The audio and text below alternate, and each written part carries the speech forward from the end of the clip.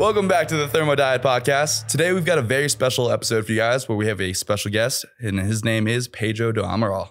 Pedro, if you want to just give like a little background to yourself for the audience. I am a chemistry and math student at the moment. I am pursuing higher level science with a master's degree inevitably. Right now I'm doing a second bachelor's. I have a bachelor's in biomedical sciences and uh, I'm very interested in the nutritional sphere and a lot of what we talk about um, I, what we will talk about in the Thermo podcast. Appreciate it. How did you get introduced to Ray or like the bioenergetic world? I learned about him actually through you guys. Um, 2015, he was posted on anabolicmen.com and uh, it was in relation to carbohydrate intake and how that's important for reducing cortisol. And that was the first time I, I had actually considered about carbohydrate intake and cortisol levels in general. But then I got quickly disenamored because I saw that he was promoting Coca-Cola. And at the time, obviously processed foods are not good for you until more recently in 2020 when he blew up again. And then I basically understood what his uh, explanations were for things like uh, Mexican Coke and so on. So it's been a while since I've known Ray, but only more recently did I get more interested. Yeah, it's it's great to see his work starting to blow up a little bit more and become more popular. But so we brought Pedro on to have a nice conversation, and I thought it'd be really fun to just pick your brain about how to prepare food pop- properly, the benefits of cooking food, adding spices, um, fermenting foods, all that stuff. So uh, we're gonna go ahead and dive in. So Pedro, why do we cook meat? Essentially, you want to break down the proteins a little bit so that they're more bioavailable to consume and also um, just for taste purposes. I mean, I don't like eating raw meat. I don't know. Most people enjoy that. But there are some pieces of evidence, if you look inside like the literature, um, where it does suggest that people that do eat raw meat, they lose more weight more effectively because you're just not gaining as much calories. That would suggest that people are actually not consuming as much protein as they think they are from raw meat versus when it's cooked. And that, in my opinion, is just a basic understanding that you need um, or you want to aim for the most bioavailable amount of protein, and the, and as does as that is, cooking provides that for most people. So that's pretty much mm-hmm. my take on that. And so generally, when you're cooking food to a high enough heat, you are denaturing the proteins, right? So like the, imagine protein like a big knot hut, and it's kind of coming apart. Is there a diminishing return, like when you get to well done and like burnt cooking? I wouldn't say so because unless there's cross linking, where if you overcook it, it gets too brown. That's basically proteins cross linking with other proteins and so on, and sugars as well. Um, and in that case, they become advanced glycation end products, which is no good. However, there is less of that going on than there is more bioavailable um, proteins, peptides, and single amino acids that can be absorbed better. Okay. But I do think that just cooking overcooking your meat is obviously not a good thing for many reasons. So it's happening when you cook it too much, and probably even when you cook it to a normal amount to a smaller degree. Is this are these things that are being digested and absorbed, or where's the main issue with these? Because I'm a little bit confused on these in the literature. So with advanced glycation end products, they do get um, recognized by receptors in the gut called RAGE, receptors for advanced glycation end products. And then that causes inflammatory cascades. And so even if you don't absorb it, if it doesn't go inside of your bloodstream and so on, um, it's still going to cause an effect within the tissue in the gut and it might cause inflammation and so on. However, if you do absorb it, most of the time it's neutralized by antibodies literally towards the advanced glycation end products. And that's not necessarily, I mean, it's a good thing that we neutralize it, but that's probably going to cause, or in part going to cause an inflammatory response, right? Those antibodies. Yeah. Mostly it when when the body recognizes that it's there in the bloodstream and it secretes those anti, anti antibodies to it, it's also going to promote a pro-inflammatory cascade with cytokines and other factors. So, do you think there's any difference between grilling, um, smoking, pan frying, um, general various methods of cooking? I think that in general, when you cook, you're when the meat gets brown, for example, you're still making most of the same products. Proteins are cross-linked with sugars. You're going to have some advanced glycation end products, polycyclic aromatic hydrocarbons, basically the smoke that you don't want to inhale essentially. Um, and so it doesn't really matter which way you cook it. You're still going to wind up with those negative products, but then also with the um, protein that you need in the first place. So in my opinion, there isn't that much of a difference versus searing a steak versus um, sauteing versus uh, baking. Like you're still going to make the same uh, byproducts. So slow cooking is a little bit different because those look for the more collagenous cuts, and that's basically to denature those collagenous proteins, which are very tough, in my understanding. Yeah, yeah. The collagen in general, the slow cooking, slow cooking would be the best approach for collagen specifically. Yeah, in my opinion. Gotcha. Do you have any favorite collagenous cuts? Um, oxtail definitely, and then uh also osso buco. You know that kind of specific, right? Yeah. I gotta get into that. I they look so good. I need, I need to. It just takes a little bit more effort, but I feel like it's very well Yeah. worth it. Really good. Okay, cool. Um, and I know you've been a proponent of adding certain spices to your food to mitigate some of those advanced glycation end products and the polycyclic aromatic aromatic hydrocarbons, just like the bad things from cooking. Can you? Is that l- because of the antioxidants that are in certain spices? Yeah, they're they definitely they contain antioxidants. Um, and then the other thing is they can basically prevent the absorption as effectively as if there were no spices in the food in the first place. Um, the other thing is they stop the immune cascade. So if you have a little bit of turmeric with your food, for example, it's going to help reduce immunity or an inappropriate immune response to the food, for example. So it does help with that as well. So yeah, there's an antioxidant aspect, there's a chemistry aspect, and there's an immunity aspect to a lot of spices and using them with your foods. And uh, I like to go for simple, tasteful spices like paprika, um, black pepper, um, and then obviously some herbs as well, like oregano really does provide some antioxidant properties. You know, parsley is the highest per capita of uh, apigenin, one of those. Um, Yeah, yeah. So I've been using that. I'm not a, a spice guy, but I've been trying to use paprika or parsley specifically for that reason. But I've been messing up a little bit with other ones as well. Gotcha. Yeah, I mean the apigen is helpful for so many different things too, like estrogen detox- detoxification. So I can see how it would benefit to consume it with the food. hmm And what about things like um, herbs like garlic and onions as well? Does that have a similar Yeah, kind so- of effect? Yeah, the sulfur, uh, organosulfur compounds in these sulfur-rich vegetables, they really support uh, detoxification of most unwanted compounds, secondary metabolites, xenoestrogens. Like if, if you open, say for example, you had some meat and it was wrapped in plastic, like most meat is. As you open the plastic, there are microplastic compounds that are going to wind up in the meat in the first place. The sulfur-rich vegetables help to bind and eliminate that and also promote general detox processes in the gut that's already present. So really helpful for that. and I don't know if you have any thoughts on this. Like evolutionarily, we like evolved to eat these things that like to combine these things that taste good together, like the garlic and meat or bread and butter and all that stuff. Do you have any chicken or egg thoughts, or kind of both? Yeah, that that's interesting because taste. It's not like the first organism that ever developed had taste in the first place. So, in my opinion, uh, if it was selected for that, it would suggest that yes, there's a reason why we, we want these food combinations. Not just a there's not just a dopamine associated response of like reward signaling. It's there are specific purposes in the body for these specific combination of foods, hmm even if we don't fully understand what they are yet. Yeah, or how they came about. It's very interesting. I, I like to think about things evolutionarily. Like I know it can get Yeah. too far, but it is at some point like how we got here.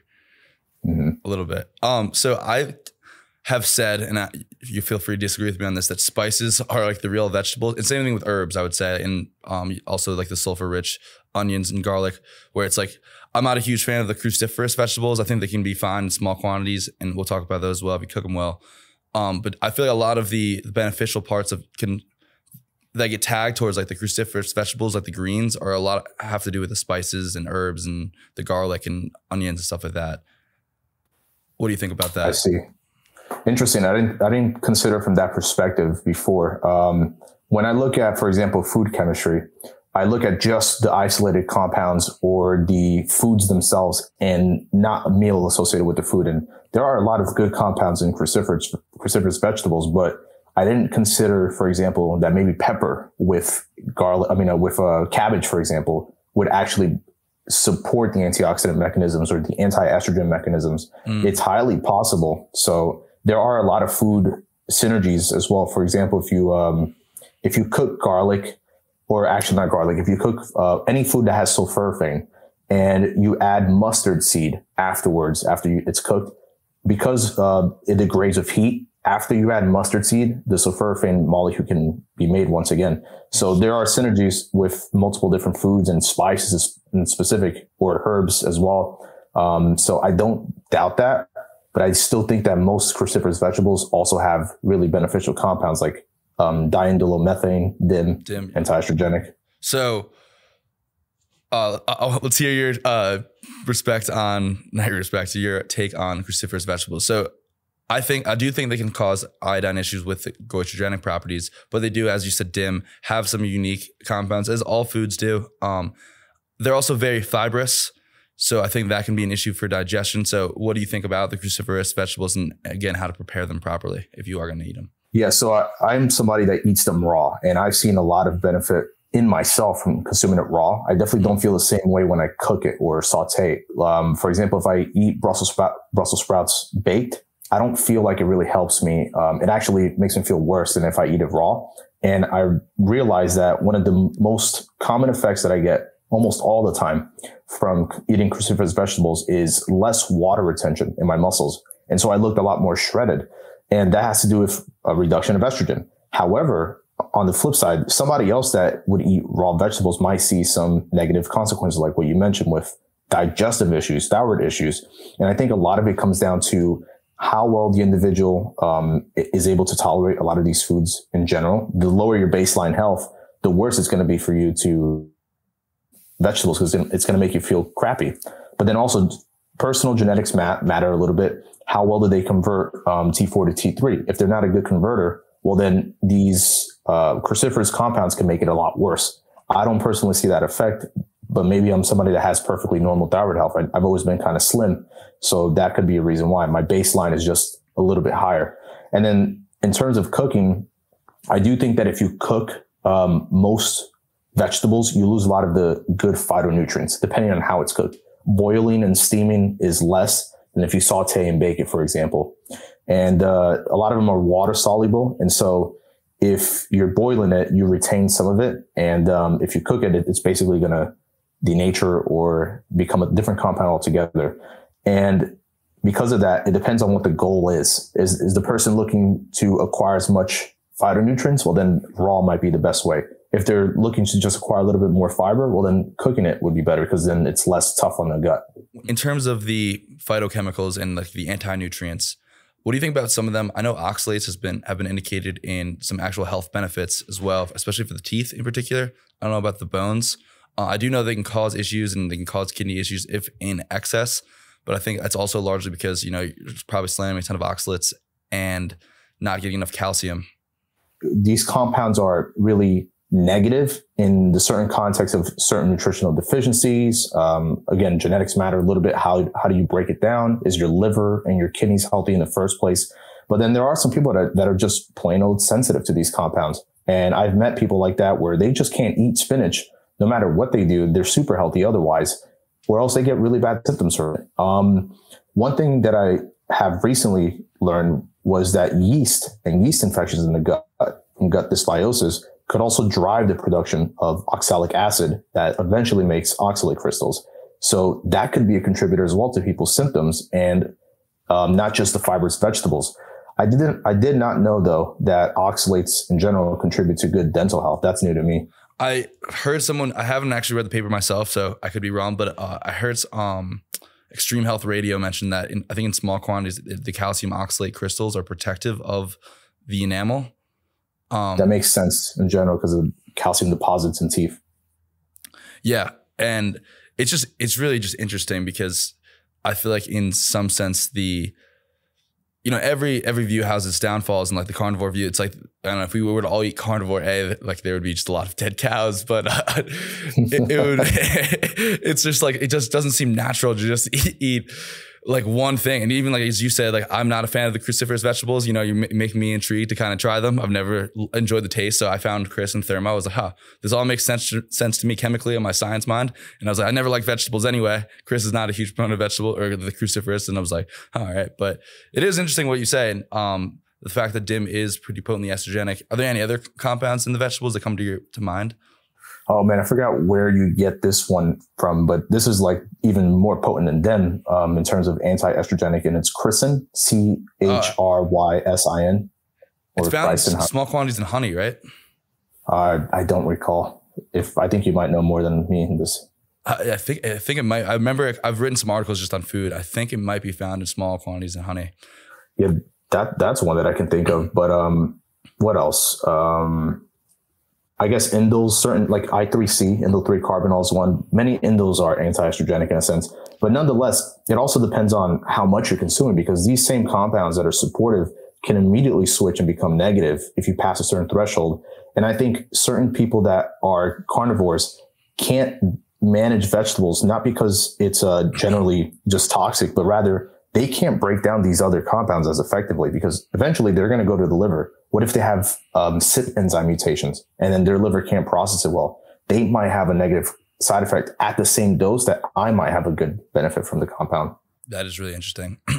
On that lines, how do you try and interpret these compounds and the data on them in the cellular level up to like because it's really hard we can't really get data on a lot of these in the human level because we don't really see the biological effects but you have the in vitro. And the question a lot of times in my opinion the difference between the in vitro and the human effects is what actually gets into the cell. Um, yeah that i think it's that's one contributor but then there's like also how well is it broken down? How well is it um, creating an effect as well? So here's an example. If a human being for example had a mutation some enzyme that reduces glutathione production. No matter how much of these uh, antioxidants they're taking in from their food, from vegetables or herbs in specific, they won't boost their glutathione levels because they just can't. And so you would see no clinical effect from that. Mm-hmm. And then somebody else that might be a hyper responder would see a really good effect from that. And they might become vegan in, in, instead of uh, having a more omnivorous kind of diet because they see a benefit out of that. So I think the, the, there's more to consider uh, in addition to just how well it gets transported inside of the cells in the first place. Up next, dairy to pasteurize or not to pasteurize? I definitely don't agree with pasteurization, but I, I understand the mainstream view on this. Listeria, um, what else is it? Anthrax, um, Bacillus anthr- anthracis is the bacteria. These are all really bad bacteria that you really don't want in your milk in the first place. And most people are going to have a negative side effect from them.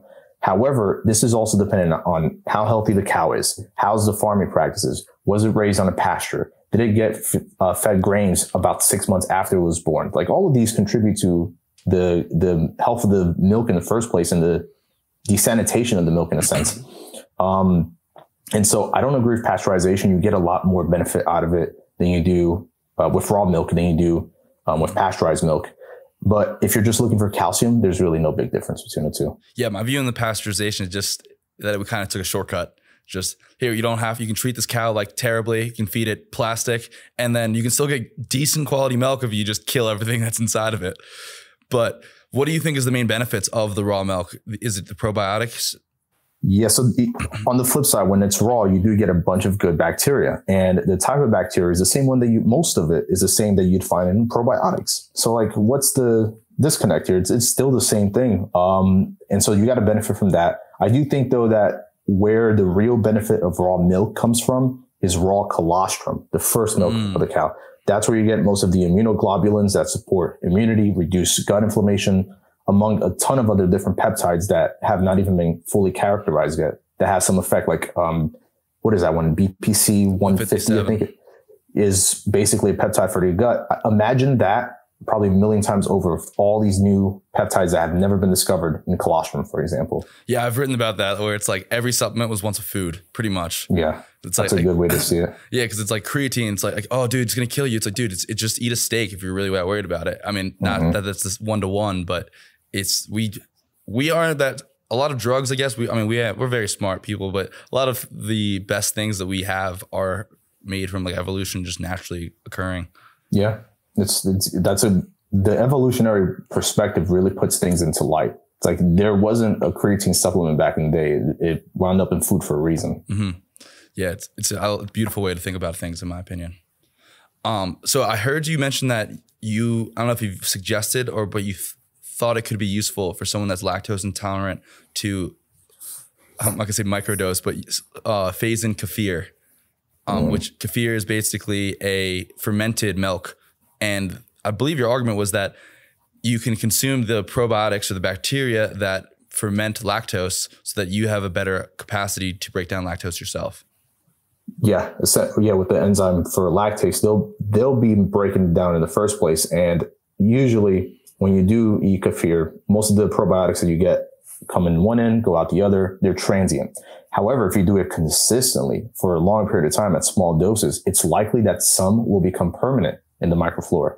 And then that helps you breaking down with breaking down um, milk proteins in general, not just like lactose and sugars, and reduces the overall effect of the lactose associated gut disturbances that most people face. Mm.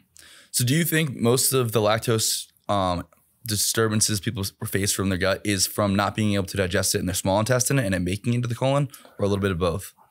Oh, I think it would be more colon, um, not just the small intestines, because in the colon is where most of the bacteria are going to be found, and that's where they're going to ferment most of the sugars. So lactose, uh, galactose, all of the different sugars that they that you find in milk, and then they can use it for their own purposes. Usually, what winds up happening is gas builds up because they're fermenting, um, and then that's when most people have side effects, in my opinion. But I do know people that as soon as they drink milk, they have the runs.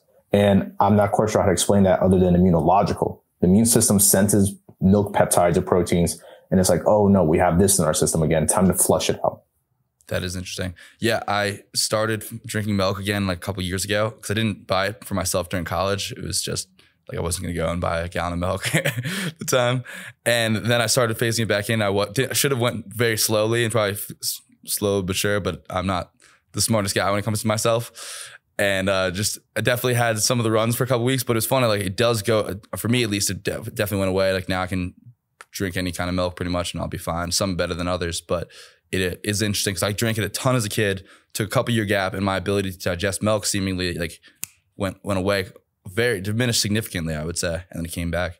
I don't know if this is correct. It's been a long time since I looked at this, but I could have sworn that some humans have the innate ability to break down lactose with a lactase enzyme.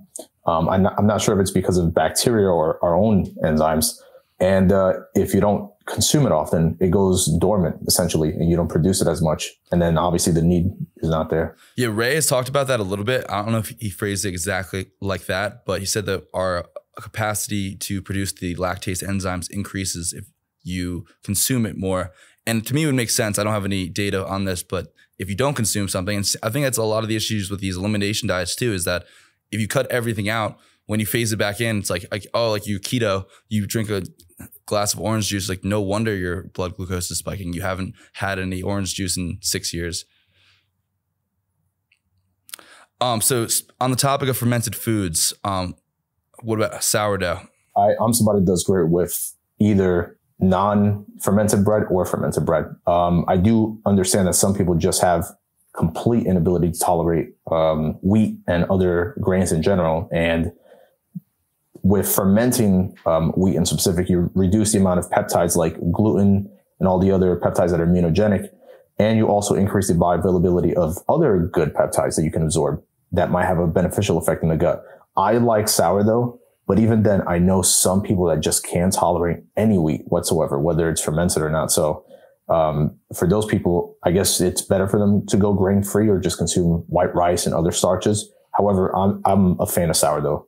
So, what do you think about the lactic acid that's in both kefir and sourdough? Do you think it's a concern? No, I don't think actually it's probably a benefit because in general, you want a slightly more acidic environment in certain areas of the gut, and that pro- that's provided by lactobacillus bacteria. They mm. produce lactic acid, and if you're already consuming these bacteria that produce high amounts of lactic acid, it's supporting digestive processes. But I will say though, um, excess of lactic acid and its signaling can promote inflammatory processes, and that's where it's associated with like colon cancer, for example. That's really interesting because I had never considered that it, like the lactic acid could actually be a digestive aid. Um, how much do you, and also I never had really put into, well, I guess we make hydrochloric acid. We don't really make lactic acid in our stomach. Um, how, how much do you think of the lactic acid is actually absorbed?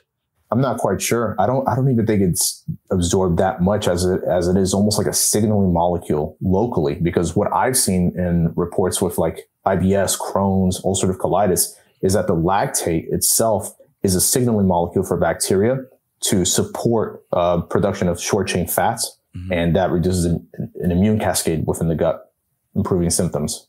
It improves the symptoms in those. Yes. Yeah, so wow. Basically acting as a signal for bacteria to say, oh, look, we got what we wanted. Let's produce anti-inflammatory molecules. That's really interesting. Um, on a slight tangential note, have you seen the research at all? It's, I think it was Brad Schoenfeld's paper on lactate as a potential signaling molecule for increasing testosterone synthesis in the Leydig cells in your testes. I wouldn't be surprised. In fact, lac- lactic acid would it increases, or sorry, it decreases pH, and um, a consequence of that is the enzyme that produces DHT will be more active because it's a pH dependent enzyme. Huh. It has a higher production rate at like a pH of 5.5. So you'll produce more T, more DHT effectively um, with higher lactic acid. But I'm sure there's a threshold. You cross it, it's going to be a negative effect. What do you think about the whole um, acid base? Uh, like, oh, you're too acidic. Like, I think they generally say people are mostly too acidic.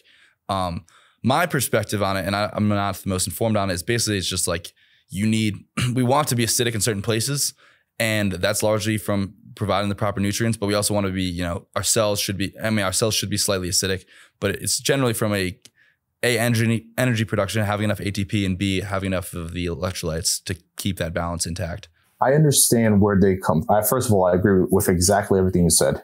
I, I want to play devil's advocate advocate mm-hmm. for them i understand what they're thinking about when you're a lot more alkaline and basic you have greater electron flow, you have greater electron density. And so if you have more electrons, you can produce more energy. That's the theory behind it. However, just like a, a circuit, if you provide too much energy, it short circuits the, the circuits essentially. And the same thing happens in the cell. As soon as things get too alkaline, a lot of things go wrong.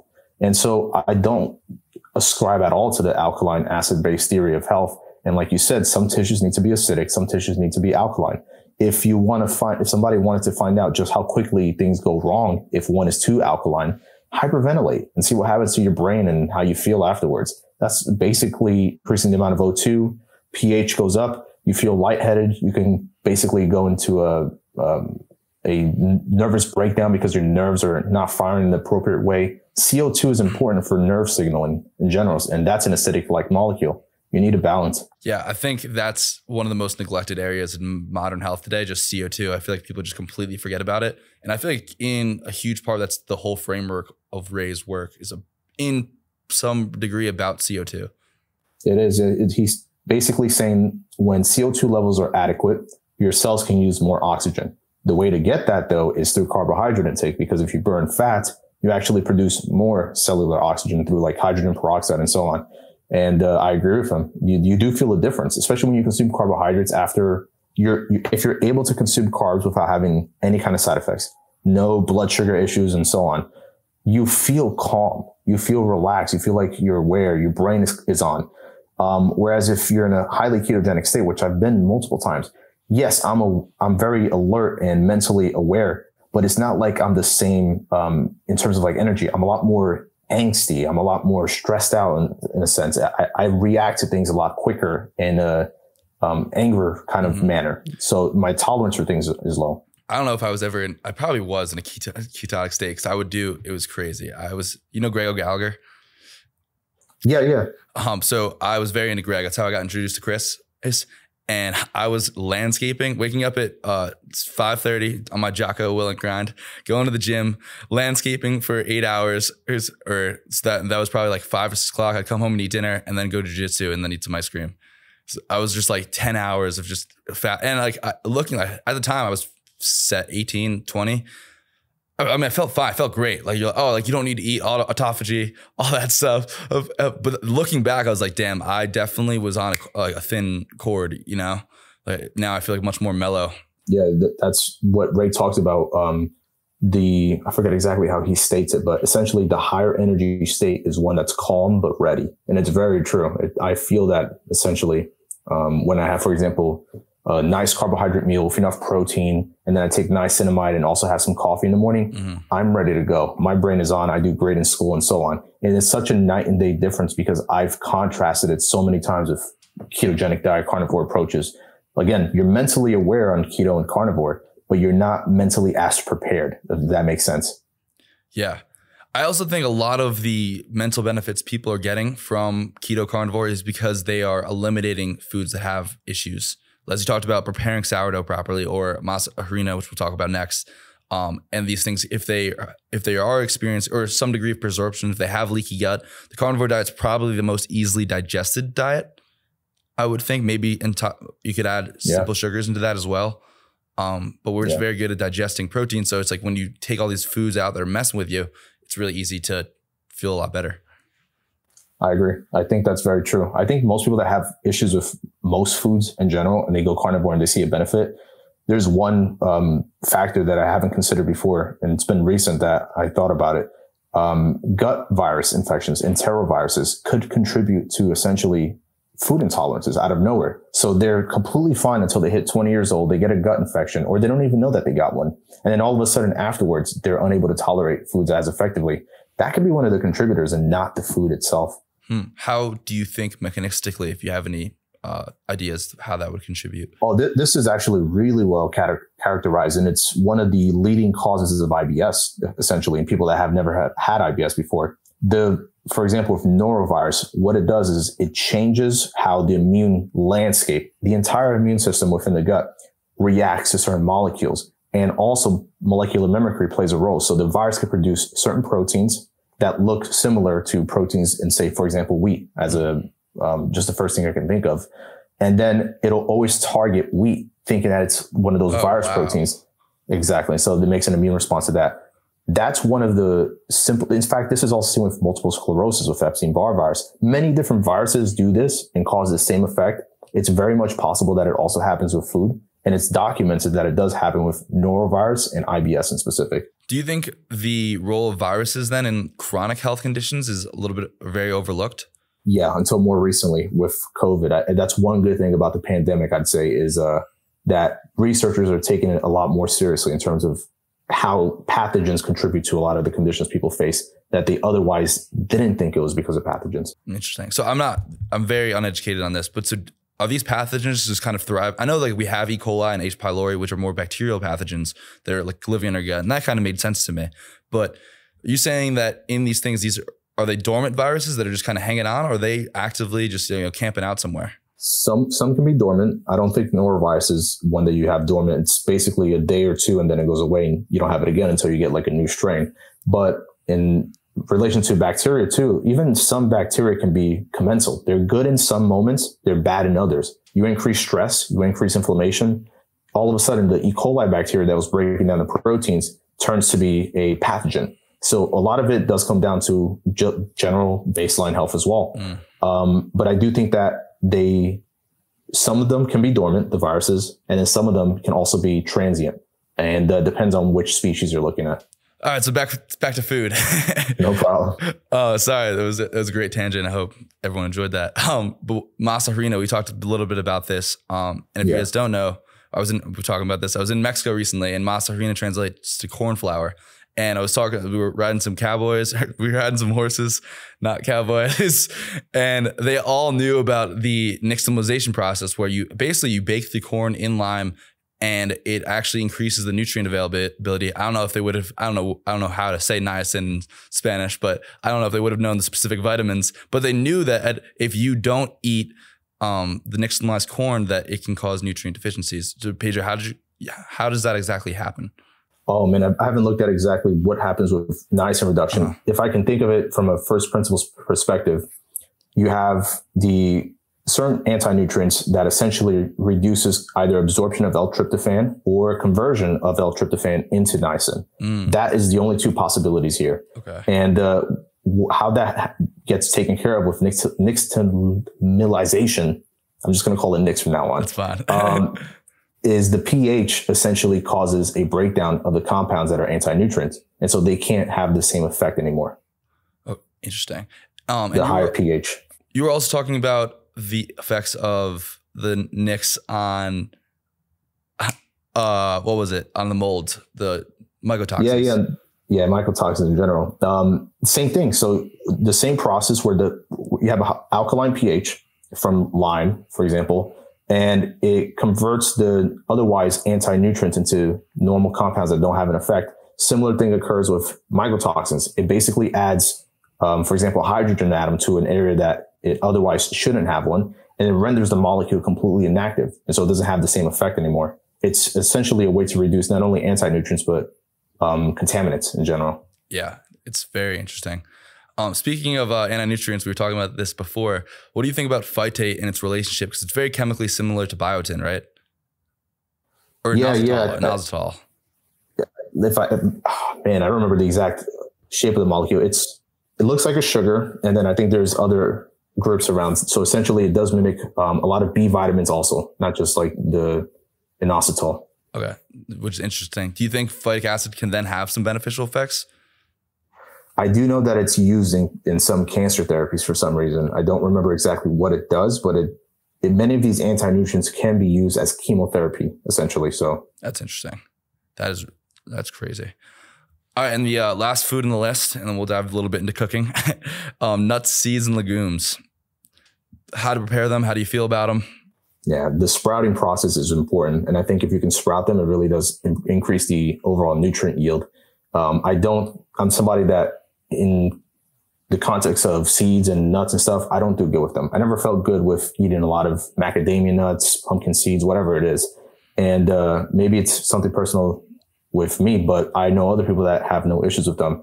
I think that when it comes to nutrients though, um, like zinc, for example, you're going to get a much lower amount than most people assume unless you sprout it because of a higher amount of things like phytic acid that would be present in nuts.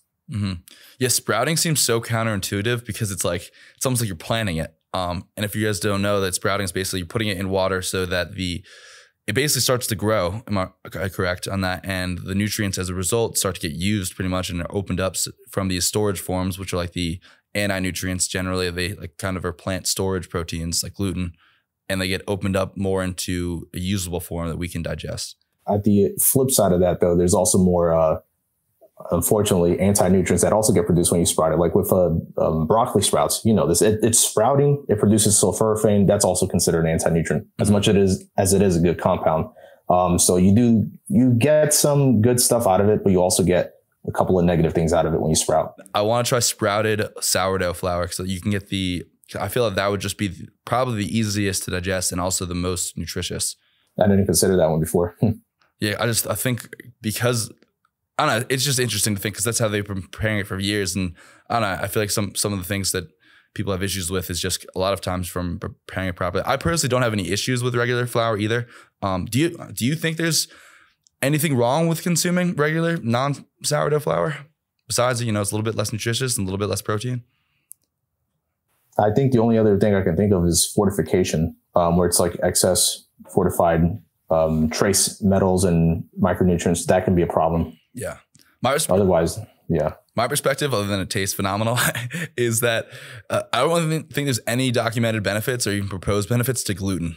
Um, yeah, I haven't seen anything where it's like there's some antioxidants. It just seems like it's all downsides. The more you can reduce that, in my opinion, the better.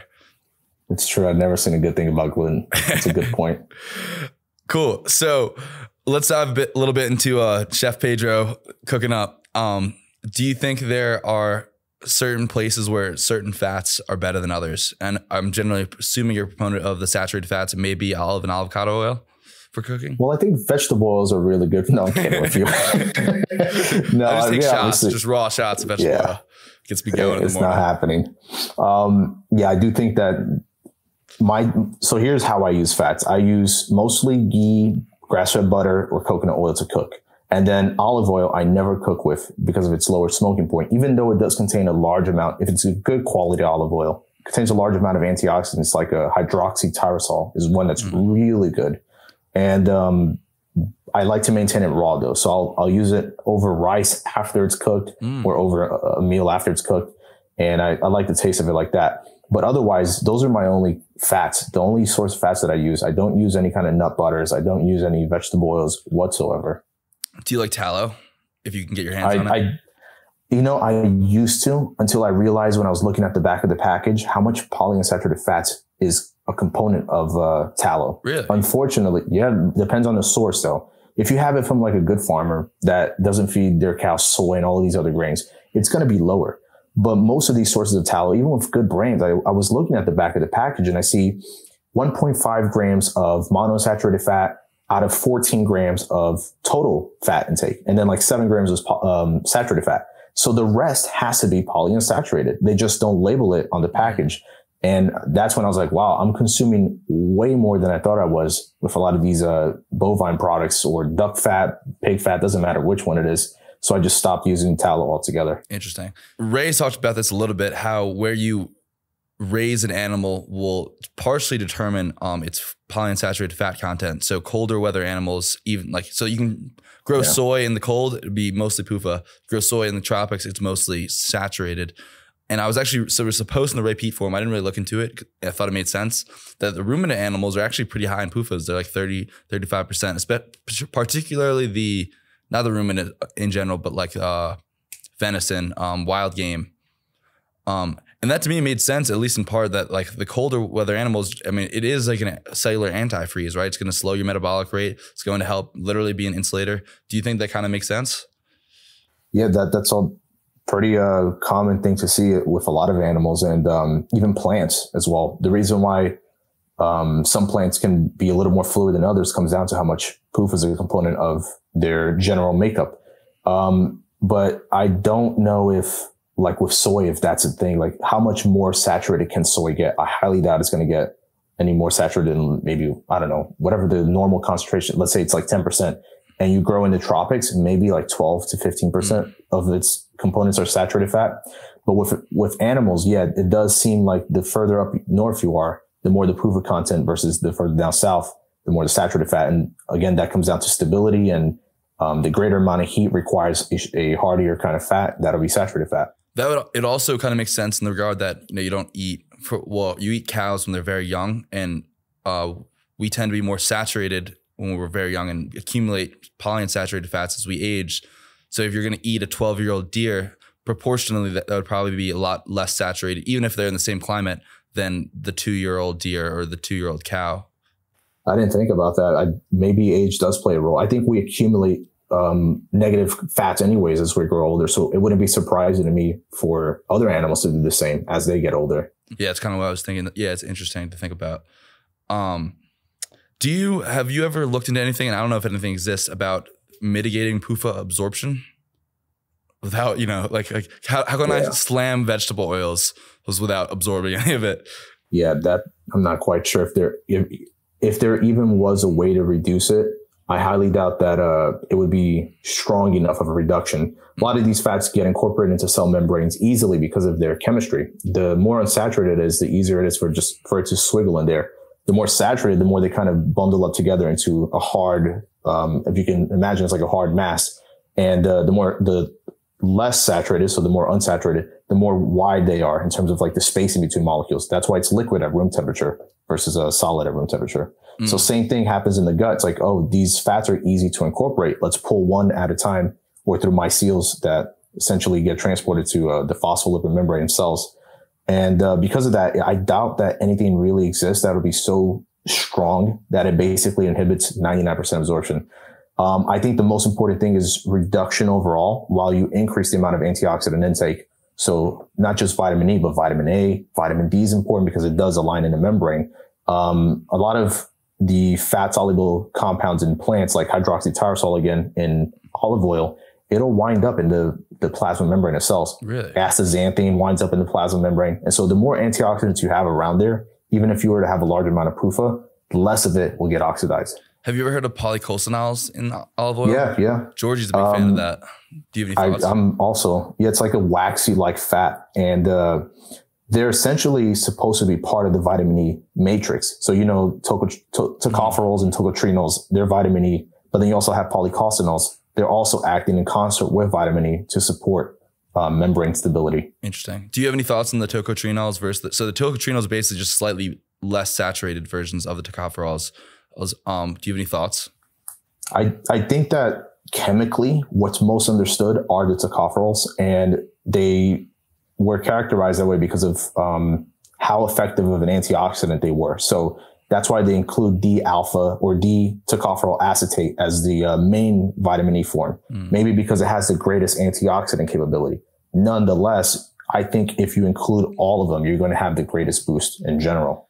Do you think a lot of these compounds that we take because they're antioxidants, like you said, D, A, and E, also are important but less under less emphasized for their hormonal effects as well?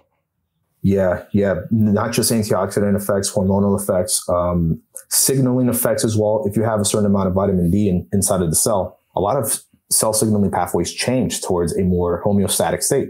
That's why it's used for psoriasis, for eczema, for autoimmune conditions. It's not just the anti-inflammation that occurs. It's how cells literally change behavior because of these compounds. Yeah, I tend to think about things like the way I've tried to view the cell, and I've tried to dive more into um, what's his name's work, uh, uh association induction, Gilbert Ling, association mm-hmm. induction hypothesis, and it's very hard to understand. I don't know if you have dove into it a little bit, but uh, I tend to try and think of the cell as either fatty or watery, and watery tends to be more estrogenic, more unsaturated, um, versus fatty tends to be more saturated, less. The water is more structured, more bound to proteins, and that's kind of why I thought the tocopherols might be more beneficial for those effects, and also the hormonal effects that they're exerting because they're anti-estrogenic. Yeah, I could see that being a factor without a doubt, and I think in relation to Gilbert's Ling, Ling's hypothesis, I think membrane fluidity ultimately matters a lot for his hypothesis to work. Um, and you can only have that with a certain mixture of different kinds of fats, different molecules. And to support it, you need different types of antioxidant like molecules. So I think you're, you're dead on with your hypothesis on that. Appreciate it. Yeah. And it's also, I love the, I love the concept of structural antioxidants where it's like these things like vitamin E is just sitting there, vitamin C as well are just sitting there to um almost I mean it's almost like to saturate the cell in, in a sense, right? So yeah, it basically acts like if a bridge, if you if you had a bridge that had any kind of damage or rusting or oxidation, vitamin E, vitamin C would be those molecules that essentially rebuild the bridge immediately so that no damage occurs in the future. And it's more hardy since it lasts longer without a doubt, they are supporting the cells in staying healthier overall and just improving tissue health because ultimately what a tissue is is a, a conglomerate of the same kinds of cells. So should we combine a protein, carbon, fat at a meal? I guess the the way to look at it is is there any reason not to? Because um, I could understand for some people maybe they have no gallbladder, and so if they incorporate protein, carbs, and fats into a meal, they won't digest it effectively because the fats stimulate bile release, except they're not producing as much. However, for the average individual, no issues whatsoever. I think it's a really good combination. It slows absorption rate. It improves absorption of many different compounds and the synergies between the different um, macronutrients can really help with utilization of those macronutrients.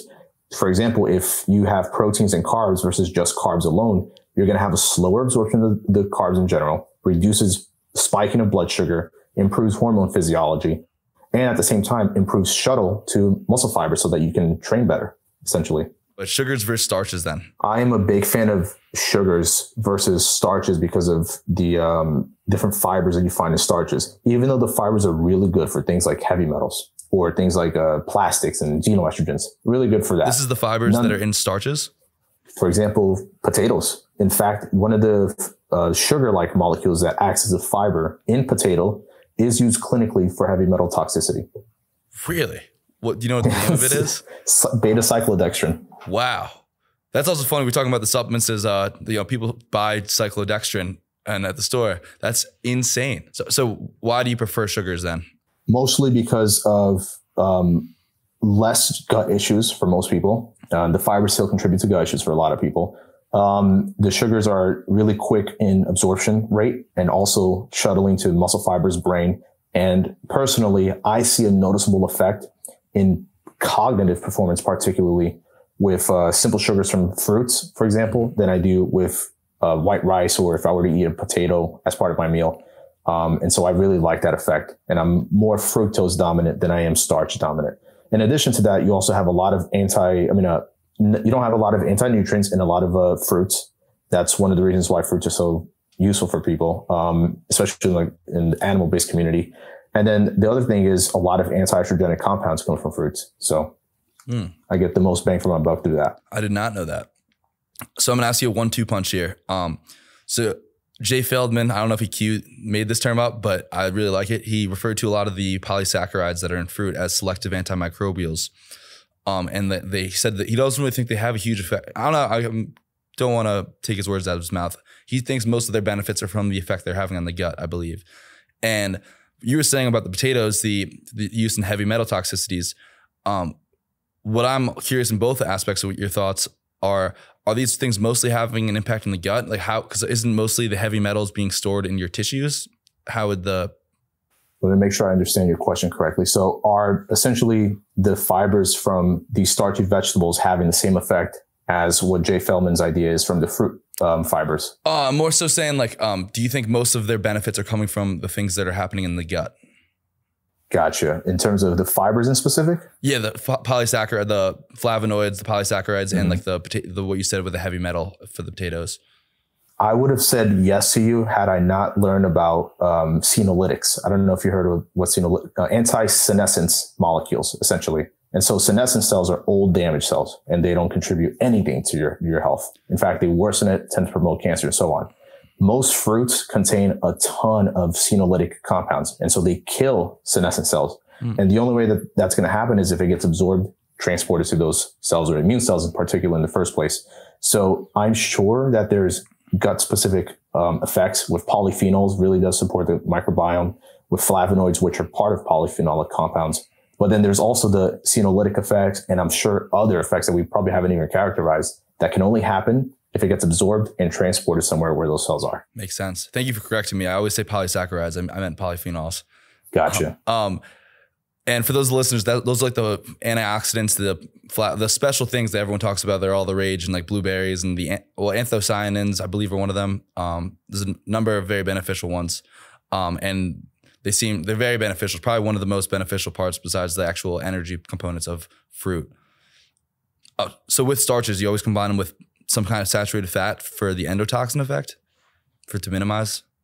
I don't even think like uh, um, so I'm assuming this is in relation to like saturated fats increase endotoxin load. Is that the? I thought it was just starch. Well, I thought the saturated fats actually had a protective effect of the starches for endotoxin. I've so this is funny because I heard um, in the vegan community, this is what they argue that saturated fat increases endotoxin absorption, and then I've never heard this one of starch promoting this. So yeah, I bet you that mostly when it comes to endotoxin, it depends on the person's baseline gut health. Because if their gut health is already not a good, um, hospitable place, a lot of bad bacteria and a lot of inflammation going on, no matter the food, it's going to absorb, it's going to cause absorption mm-hmm. of endotoxin. So maybe, yeah, maybe I phrase this. I definitely phrase this poorly. I think the saturated fat slows the absorption of and the digestion of the starches, so that it increases their digestion, so less makes it to the bacteria where that's fermented. And then if you don't, you know, if you eat a ton of uh, hard to digest starches, they're just going to rapidly ferment, and then that will cause an increase in their toxin. That makes a lot of sense. Um, I think it could happen also in general from uh, quick digestive uh, carbs if you have a lot of bacteria in the intestines, in upper intestines, so the small intestines in particular. But I'm not quite sure. I haven't looked in particular on mm. if saturated fats help with this or not. I personally have never had a bad side effect from combining a fatty, for example, if I mix mashed potatoes with butter, doesn't do anything. I feel great with it. So, um, so I was listening to a podcast, uh, you know, more plates, more dates. Yeah, yeah. Uh, Derek, uh, and he had Alex Hormozi on, and they were talking about uh, how after like uh, Alex Hormozi, he's currently on TRT, but he's just spent 20 years building a phenomenal physique. Derek is on TRT, I believe, as well. And they said he's like, I feel horrible after I work out. It's like I, I like people. I'm trying to work out as little as I possibly can because I can't. I don't function. I can't. I'm not as don't have the same capacity to get work done or the same you know vigor to get work done. And I was just kind of curious in your thoughts on that because I personally thought a could be from the gut issues, and I also think like when you have an super physiological amount of A testosterone, but B muscle mass, it's like everyone gets some sort of leaky gut from muscle from lifting. But when you have 10 times the amount of muscle mass that you should, you're probably gonna get a significant, even more reduction in uh, your gut health. But so I thought it could be from the histamine response and also maybe not eating very quality foods after your workout. So what do you what do you do to wh- when do you time your workouts and what do you eat before and after generally to keep yourself zooming? So this is in particular with Derek, right? He mentioned that he gets side effects um, from working out hard, and so he doesn't do it as often anymore. Th- yeah, that that uh, post exercise malaise in general, that's a strong sign that a lot of things are probably going wrong. That he might be burning himself out. He's a very big fan of keto diets and for cognitive performance. Performance, but if he period of times, even if it's cyclic keto, he might already be in a higher cortisol like state. And as a consequence, working out takes it up just that extra notch that makes it a negative effect overall in your health. And then that worsens your gut health. And then if he's having food that's already damaging to the gut, boom, it's even higher now, the amount of cortisol. So that could be what's going on with him. Um, in terms of how I structure my workouts, um, I like to work out between 12 to 3 p.m. So afternoon time. However, it's not always possible with my schedule. Most of the time I have to get it in first thing in the morning, but I don't go as crazy as I used to. I'm a big fan of lifting hard, lifting heavy, high intensity training style. Um, but I've realized with the things that I'm trying to do, that's not conducive. That's not helpful for my studies, for example. I need to maintain enough energy so that I can devote time to those things as well. Mm. Um, otherwise, my nervous system is, is also wrecked. If I do like a PR deadlift every single time I go to the gym, if I do, for example, Greg O'Gallagher's kind of workouts where it's three times a week, high, yeah, exactly. That'll still be enough to cause me, cause a reduction in my cognitive, um, performance with calculations and stuff. So I don't go as hard now I'm more bodybuilding oriented. I try to focus on improving my physique more than anything. I've had my days where it's mostly powerlifting oriented, strongman training, and I still do incorporate those, but probably once a week at, at most. Yeah, I can definitely relate. I've I feel pretty good right now with my workouts. I'm also working out late at night, not late at night, but uh, around after work, five or six, which I think as long as I don't work out too late, because it'll keep me up sometimes. Um, I don't feel too stressed out. But uh, last year I would hit, I would go in the midday around 12 and I mean, it's really hard to go back from like a heavy set of hack squats to like, all right, let me just go work on this chemistry. Like it's just, uh, you're amped up and it's hard to just sit down and be chill again. I agree. That's exactly the feeling. Um, do you have a general macronutrient ratio you like to, to recommend? On active days, I'm hitting no less than like 300 grams of carbs. On non-active days, it goes down to about 250 grams, 200 grams. And on active days, I'm hitting about 180 grams of protein, roughly 160 to 190, I'd say is like the range. And then on non-active days, I'm about 130 to 170, depending on what I decide to eat. Um, that's all I focus on. And then the fats, I just get however many fats I want. Mm-hmm. I don't really count calories. I don't really count macros. I've done it already many times. And that's how I can eyeball these things in the range that I'm in. That's pretty much how I go about it. I think everyone should count calories for a period, just so they have a, you know, they can eyeball it. As like I don't, I haven't counted calories for years, but I know give or take. So every once in a while, I'll do a day where I'll like I'll track calories. I don't weigh anything, but just so I have a general ballpark, I'm like, oh yeah, that checks out. Um, yeah, because you have no idea unless you've done it before a little bit. Yep, that's how I see it too. Um, so do you count collagen towards your protein intake? Yeah, I, I do. I think that because collagen is richer in glycine, proline, and other specific um, amino acids that you're, you're only going to find in higher amounts in collagen versus muscle meats. I think that people should still prioritize collagen as part of their protein intake. What about for muscle, like specifically for muscle growth? If it's, let's say I'm trying to gain, even, yeah, even for that, I mean, people don't seem to remember at times what surrounds your muscle fibers is a bunch of fascia. And if the fascia is not healthy, or if your ligaments aren't healthy and they're not contracting as effectively because of ligament tears and damage, um, tendon tears and damage, you're going to need a higher amount of collagen in the first place to have hypertrophy growth, uh, hypertrophy in general. Yeah, that makes sense. Um, so I'd like to talk to you a little bit about like meal timing, I guess. Um, so our most ins- so uh, the way I like to think of insulin sensitivity and explain it to people is that it's kind of like your cell's gas tank. When you're very insulin sensitive, it's like your cells really hungry. They want a lot of fuel, and they were very unlikely or less likely to convert it into fat as storage. Um, probably just likely to store it as, glu- as gl- glycogen, um, but yeah. less likely to store, like, convert it into another form. They really want that sugar. Um, yeah. So generally, our most insulin sensitive times are post workout and in the morning. So what I've advised to people is to, if you're going when you're going to consume starches, especially if you're trying to lose weight or maintain, to consume your starchiest meals in the morning or after a workout. Do you think that's like a sound advice, or you- Yeah, I, I I naturally do this without even thinking about it. Essentially, what you just mentioned, and I guess it's because that's when I crave carbs the most as well. Obviously, you just worked out. Your body's going to want some sugar to replenish the glycogen in the first place.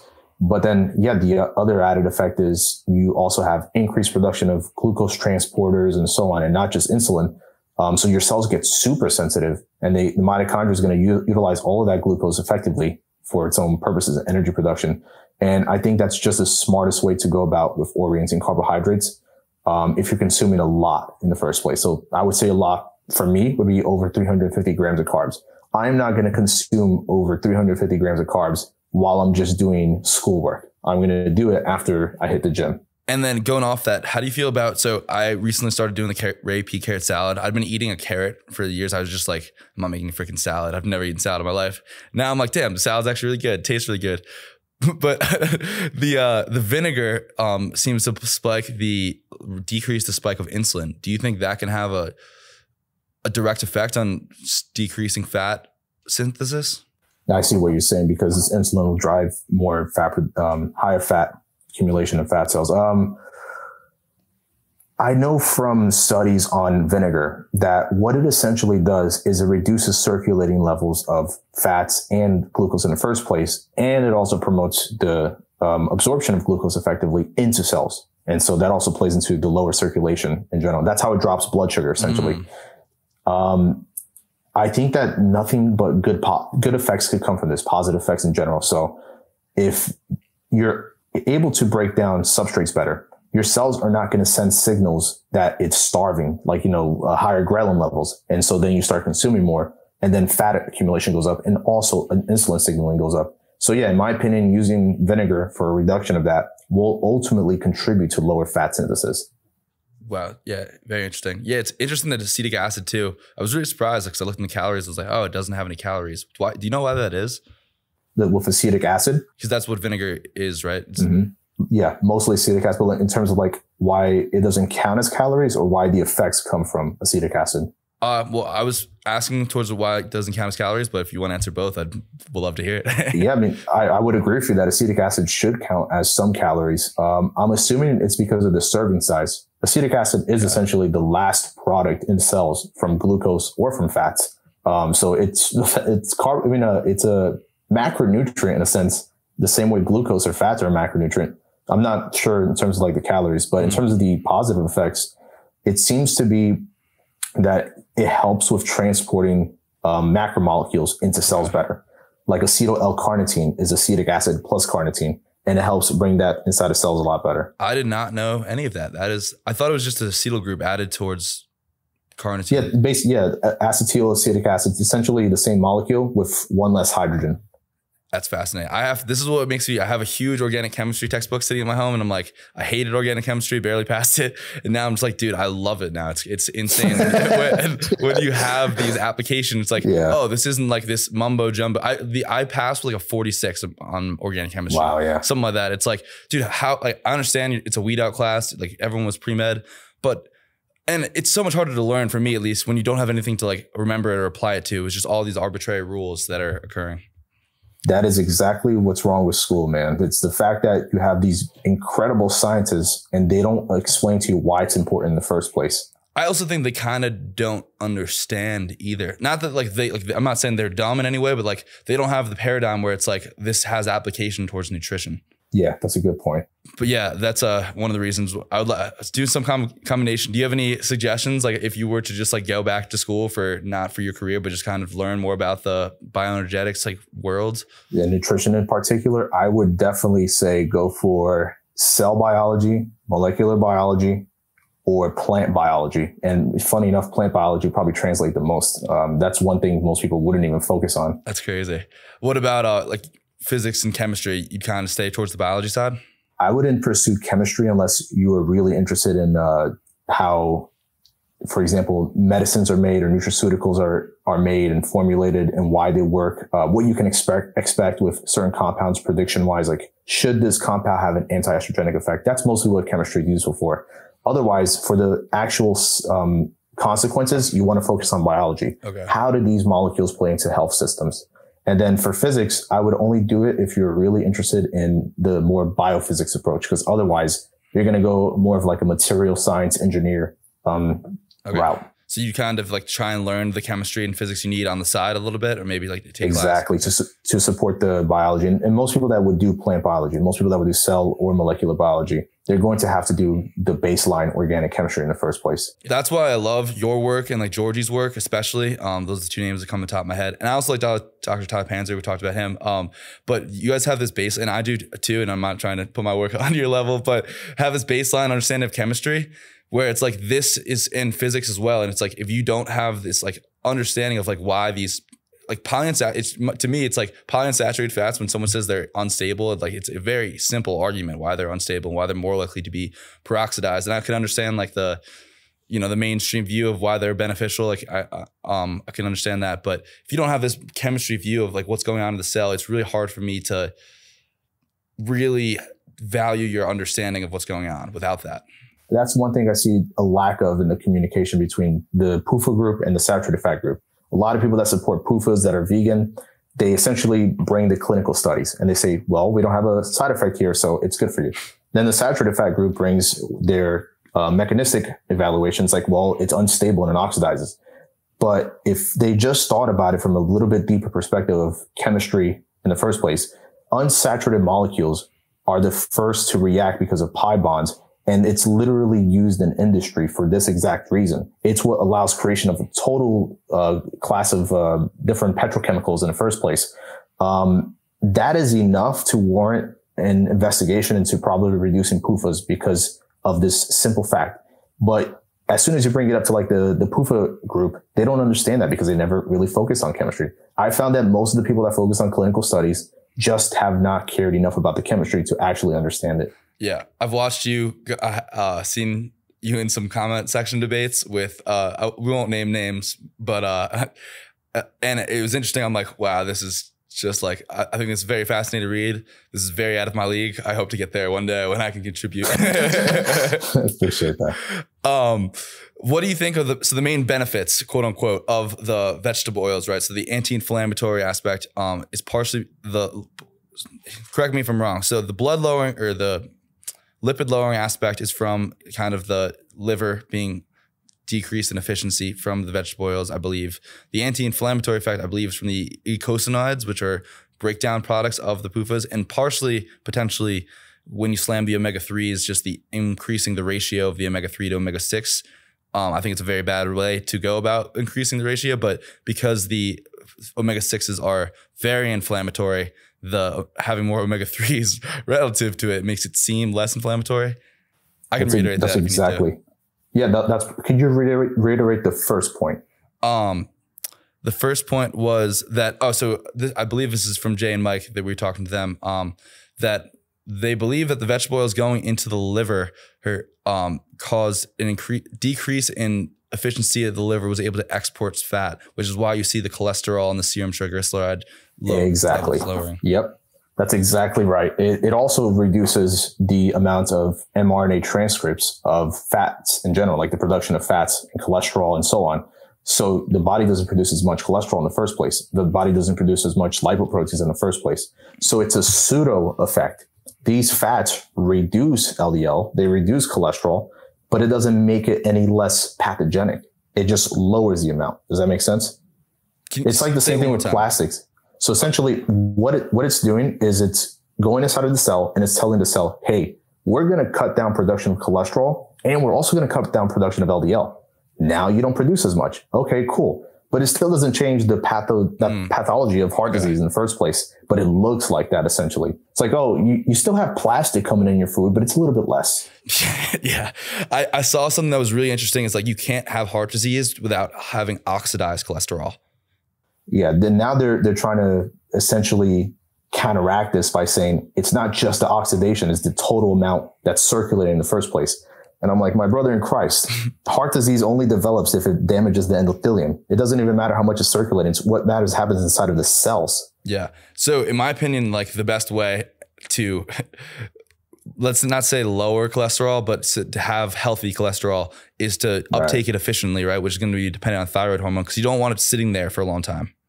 and stability of uh, cells matter a lot. Stability of even LDL, uh, the lipoprotein matters. If you have a lot of unstable fats and low antioxidants, guess what? You're going to make oxysterol. And oxysterol is the contributor to cardiovascular disease among the oxidized PUFAs as well. But um, that only happens if you have a high amount of PUFA, low antioxidants in the first place. So yeah, that matters a lot. Mm-hmm. Baseline health drives a lot of the pathologies associated with these molecules. Inherently, these are not bad molecules. Some can be more reactive, like the PUFAs. Some can be more stable, like the vitamin E. But essentially, they don't do anything in the context of just the molecules themselves. The person and their baseline health matters a lot in this. Mm-hmm. And so, do you think the main issue with the PUFAs in the cell is their instability, which, you know, I like to say oxidative stress is like if you imagine your cell like a game of pinball and there are just balls bouncing around, it hits saturated fat, it bounces off, hits the polyunsaturated fat, you know, it breaks the bond and that causes these, inf- you know, these yeah. free radicals um to be released. Is the is it fine to be burning the PUFAs though?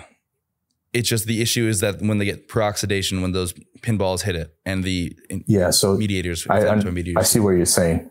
The the problem comes in understanding how they're burned. Um, so when we think of burning fats, we literally think of the same process as oxidation of fats. It's entirely different. The burning of fats that happens inside of mitochondria, and that's the only place you're going to burn it is in mitochondria, um, is essentially you have a long chain fat. It gets broken down and chopped into smaller and smaller pieces that essentially makes acetic acid. That's the acetyl, acetyl CoA, right? Exactly. Okay. That's it. So it's not actually burning it. It's just utilizing chopped up portions of the fats to help with electron transport. That's literally all it's doing. The, and that's in the mitochondria? Yeah. What's is that so you're saying that's how we oxidize fats? That's beta oxidation? Exactly. That and mm-hmm, exactly. Mitochondrial matrix you need l-carnitine for that. And uh, all fats go through the same process except pufas have some added process. They have to first become saturated um, for the chain to actually be broken up effectively. And is that detrimental? No, not there's no detriment specific to it. Like I can't think of a negative consequence to this process. It takes longer. However, if the PUFA is inherently unstable and the mitochondria is already producing reactive oxygen species, we all know mitochondria produces some ROS. Mm-hmm. If that comes into contact with the PUFA, that's not going to get oxidized anymore. Now you have a per, um, peroxyl radical, and uh, that's going to contribute to mitochondrial damage. Interesting. Interesting. So the the inflammatory mediators of the omega six, eh, like malondialdehyde and the omega threes, um, that is mostly from the peroxidation and when these things. So I know I believe malondialdehyde is literally, excuse me, it only comes in the omega threes, and I believe if it's an epoxide, right? Yeah. Uh, no, I think it's a it's an aldehyde. Oh, that's why they. Oh yeah, that makes yeah. sense. Um, mm-hmm. But that's because I know I think it's similarly structured. I don't know why I thought it was an epoxide, but I thought it was similarly structurally because I know we talked about in my organic chemistry class that epoxides just wreak havoc on the cell. That they're just so hard to break apart. Um, and that's why I thought malondialdehyde because it's so stable, but it's so inflammatory, is so detrimental. Yeah, it's. It, um, I can't think of um, what the other one. I think it's glyoxylate, if I'm not mistaken. I can't remember exactly, but essentially these aldehydes what they do is they promote the fat oxidation of PUFAs in the, in, when I say oxidation here, I don't mean the mitochondria, I mean the bad way. And what they make as a consequence are epoxides. And that ah, okay. in itself, that in itself can produce more malondialdehyde or those epoxidated PUFAs can go inside of the nucleus and form adducts with DNA. It acts like a heat seeking missile that causes DNA adducts. This is the same exact mechanism, word for word, that happens with um, tobacco uh, and cigarette smoke that causes lung cancer. Basically, what I'm trying to say is that if PUFAs are doing what tobacco smoke does to cause mm-hmm. cancer, how can anybody deny that it's carcinogenic or detrimental to the cells? That's interesting. Is the main um, carcinogen and, and, not carcinogen, but like, is it malondialdehyde actively involved in tobacco as well? It's, it's one of them, too, right? Acrolein is another one. The one that I'm talking about in specific are phenanthrene epoxides. And so it's like the cholesterol molecule. Um, phenanthrenes are basically, it looks exactly like the cholesterol ring. So it has a couple of rings together. And instead of hydrogen atoms, what you have is epoxide groups all around the molecule. And so it acts like a heat seeking missile. Oh it goes God. straight, it goes straight to DNA and then it lodges itself in between the strands of DNA. And so you can't read DNA effectively becomes essentially a mutagen. Um, and then that causes carcinogenesis. Likewise, with PUFA is a similar thing occurs. Okay. So I had a nerd out moment when you described the like the epoxides around them. Yeah. Just bad. Um, Yeah. so when you what do you mean by DNA adducts? As you saying the mut- mutated DNA, or are you saying specifically something else? Pure. So it's completely normal DNA until this molecule comes in and wrecks it apart. And the way that it wrecks it is by forming a bridge between the two strands where it shouldn't. And that's what you call an adduct, essentially, where you glue two molecules together that shouldn't be glued. Interesting. And that is going to prevent. That's what you said. Is prevents the reading of the DNA. Yeah, essentially DNA can't have anything in between it. Otherwise, it's not going to be read properly. And if it does, it's going to make completely unstable, inaccurate proteins. And then that causes cancer. That is very fascinating. So, do you tend to reside more on this? Well, I think you're going to be in between, but I'm going to ask you the same question anyway. Um, on this genetic side of qu- cancer, where it's like um, the DNA damage or the more nu- repeat nutrition bioenergetics, or do you think that this increase the decreased efficiency in the mitochondria is causing more reactive oxygen reactive oxygen species to develop these free radicals, which is causing the DNA damage, which causes the genetic I believe that there are certain cancers that are single gene conditions, but they are very rare. And I don't actually, I don't even want to say very rare. They're rare. And these single gene based cancers can't be fixed with normal therapies. You can't help the mitochondria and get it better. You can't help the person with nutrition and get them better. You have to literally do gene therapy. That is the only way to fix them. But most cancers are indeed driven by lifestyle, and environment, nutrition. And those are the cancers where people should focus on how to improve mitochondrial health, how to improve uh, um, cell metabolism, how to reduce cancer metabolites using um, anti-carcinogenic compounds, anti-mutagens. That's all where they become super useful. But then those rare group of patients that you try to implement that will have no effect whatsoever. reminds me of, a point that will transition us to our next question. Uh, I was listening to this guy on Joe Rogan. He's the owner of White Oak Pastures. I forget what his name is. Um, Yeah. but he was what talking you're about, he was talking about how uh, he believes the cows that are going off in these grain fed, um, grain finished farms, they, you know, they start feeding them grain around six months and they live to about 18 months and they have a weight, I think that's like 300 to 500 pounds more than the grass fed. He's like, oh, so the grass fed, they kill around two years. So I don't think if you just let the grain fed cows live for another year, I don't think they would survive. That's a good point. I have never even considered um, the lifespan, considering that they, what, when do they usually kill them? It's like a six months to a year and a six and six months in. Uh, so like? I believe they start feeding grain in six months in. I believe they kill them around 16 to 18 months versus grass fed, he was saying is two years, which isn't that crazy of a difference. I would have thought it would have been more of a difference. But he said the regular lifespan of a cattle is like 20 years if you feed them. And uh, I guess that's also assuming like that you might be able to reverse some of the damage going back to a grass fed diet. But if you, he said, I thought that was really interesting. It's like you're pretty much eating a dying cow when you're eating these grain fed, which is that that is a beautiful way to state it. And if you think about it from a lifespan perspective, as humans, let's say that we live on average 80 years. Then if you did 20 years of horrible dieting, that's still reversible, maybe within like five years or so. For a cow, 20 years means that if it's going to die within two years, irreversible. I mean, there's not much you can do. If you try, if you go a year and a half and it's eating grains, and then you decide, okay, let's make this cow eat grass fed, it'll probably live to three, four years old Mm. out of 20 years. So it's like there's not much you can do there because of the short lifespan. Humans have a lot more of a, an ability to repair and recover until they get older. because of our you think that's part of like, Longer. the okay Yeah. lifespan interesting um so this is a random question uh, that i just thought of uh my friend brenton who works at uh, umzu with us he had some so he he had some chickens to lay eggs and he took them to the butcher and says has can you make can you butcher these for me and he says these so these were egg laying chickens. Like, you want them butchered? He's like, yeah, I want them butchered. I'm not going to waste the meat. And then Brenton understood why that he didn't eat the chickens. Apparently, when you eat the older chickens, it, it could also have something to do with the hormones from the egg laying. Um, it is just the worst meat possible. Like, it's just like uh, he said he couldn't even get it down. I think he made it into a stew, and like he still like barely get down. Any thoughts on like what's happening there? Is just the aging of like the proteins and pufas, maybe? Wow. or- I mean, I've never had that kind of chicken um, experience before. Um, let's think about it from a first principles perspective. So the chicken was how old? Uh, like pro- probably like seven or eight years old. I think it's because they don't eat these. Like usually you have chicken that dies a year, probably. I could imagine that hormones have a large role to play with uh, the taste of food. For example, chickens that are really fat, uh, they're going to be tastier, but you also get chickens fatter with a lot of estrogen. You pump them up full of estrogen. I think that could contribute to how the taste have, um, how the t- essentially the chickens taste in the first place. And as they get older, hormone physiology changes. The meat might get um, totally different in terms of the proteins that are produced, um, how they're structured in terms of like the tissue organization, and then as a consequence, the taste changes as well. And in general, if you think about it from like the evolution side of taste, as we talked about in the beginning, older things don't necessarily taste better. Uh, a banana that just became ripe is a lot better than a banana that's fully brown. Likewise for many other foods, it's like the older the food is, the worse it's going to taste in the first place. Yeah, it's very interesting. Good point. Um, going off that, do you think it's important? How important or big of a role do you think hormones in animals play in terms of the cows and all that stuff, eating them, and even milk? I guess I know milk, milk is typically a very small amount, but um, it's in a in terms of like a health context or taste context. Uh, more so health. Okay, uh, I definitely think that the estrogen content of meat dairy products, if they're grown on like a grain fed diet, is a little bit of a concern.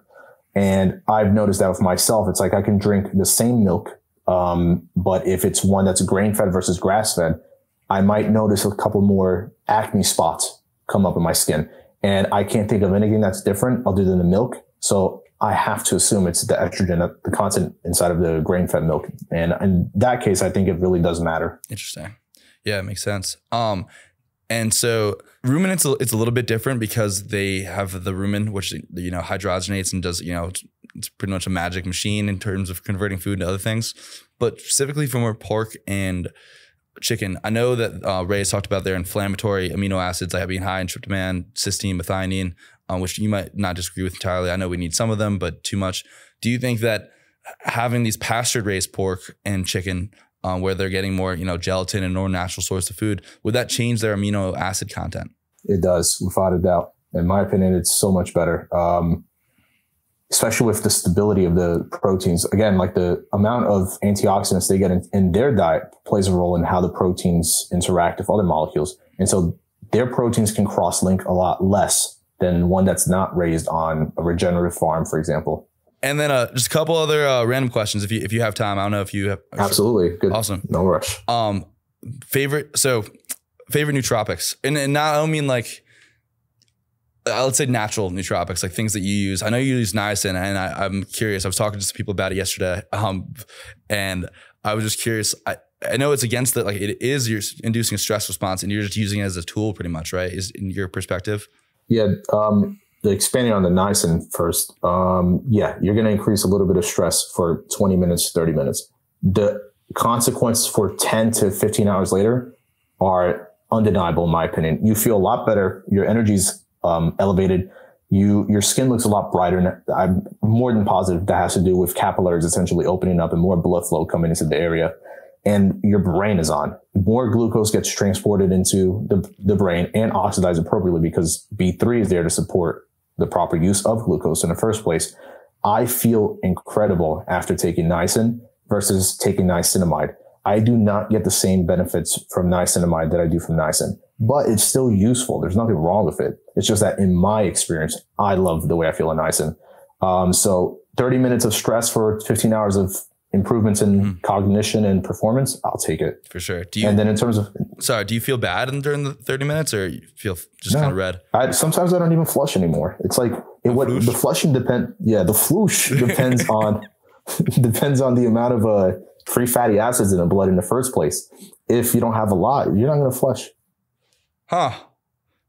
I'm gonna try. I'm gonna try the floosh. I'm gonna. I'll let you know. I'm send a picture of my red ass face for you. That's interesting. I, I, got really red as a kid all the time. I, I never knew what it was from, and it's interesting that you talk about that. It has to do with uh, the amino acids, free fats, fatty acids. Sorry. Yeah, yeah, and um, there's other mechanisms at play, but the most important one is how much of the free fats are circulating. Otherwise, um, the only other two mechanisms is through histamine, which I don't feel anything sometimes um, and then through G protein couple receptors, which has to do with people's genetics as well. So mostly it has to do with the fats. Gotcha. I forgot niacin and niacinamide both have a free fatty acid lowering effect, right? Yeah, essentially doing what these cholesterol drugs do. Gotcha. All right, sorry, I didn't mean to interrupt you. Nootropics. Yeah, so nicotine and caffeine by far. You can't beat those two. Uh, You've probably seen my story with that. Um, it's not, I'm not saying go smoke tobacco. I'm not saying go smoke a vape or whatever. I'm just saying, in my experience, I have tried alpha GPC. I have tried phenylpiracetam. I've tried Noopept. I've tried uh, modafinil, adrafinil, all kinds of nootropics and combinations therein. I've looked at synergies and how their chemistry um, plays along. I have never felt something come as close to doing nicotine and caffeine together. Do you, you ever tried nicotine with caffeine, uh, methylene blue? I haven't. That that might be something to try. How do you feel? Uh. I so I, I don't handle nic- How do you like to get your nicotine in? Uh, to smoke it, just it? tobacco smoke. Okay. Yeah, cigar or pipe. Gotcha. I've been on the uh, uh, the Zyn wave. I don't know how you feel about that. Um, you, you can we'll talk about that after. But uh, uh, yeah, I feel like well, I know one of the main detriments with nicotine is the nitric oxide, and methylene blue is such a potent nitric oxide inhibitor. So I feel like it counteracts the jittery effects a little bit, and I just like I don't really feel a crash. So I feel very smooth with it. It definitely feel. Uh, you'll have to let me know if you think. But um, what do you think about that? That that could that makes a lot of sense to me, and I can see how that would help, especially with uh, the carcinogenic compounds that come from smoking tobacco, or the way that nicotine itself from Zyn um, can stimulate the nervous system in a in a stressful way. Um, methylene blue should help in general with not only the jitteriness, but also breaking down the compound effectively. So less people, less concentration of nicotine overall Yeah. over the period of its half life. Yeah, so I'll do like, like four drops of methylene, and I don't do nicotine every day. I'll just do it when I'm working. Um, so I don't try. I don't want to take methylene blue every day either. Um, not that you know methylene blue's a drug. Be safe. be careful. um, and I, I know you've talked about that extensively. Um, do you think? I, I would really like. I would love to see if I could get a nicotine gum, like a one of those like natural like gum from the tree, not from the tree, but like I know they had like that's how they used to do it. They used to chew. Um, The resin of Yeah. nicotine, essentially. Yeah. Uh, oh, where, I think that the Peruvian cultures did that, where they took cocoa leaves and they they chewed it, right? yeah, yeah. I've seen that. My roommate went to Peru for to see the um what is the Machu? Picchu. Machu Picchu, and they give you cocoa leaves because it helps you adapt to the altitude. hmm Which is fascinating. How it happens in the first place, I can't imagine. Insane. I mean, how they Yeah. also figure that out and just say, chew these. Here's some Yeah. Yeah. coke. Um.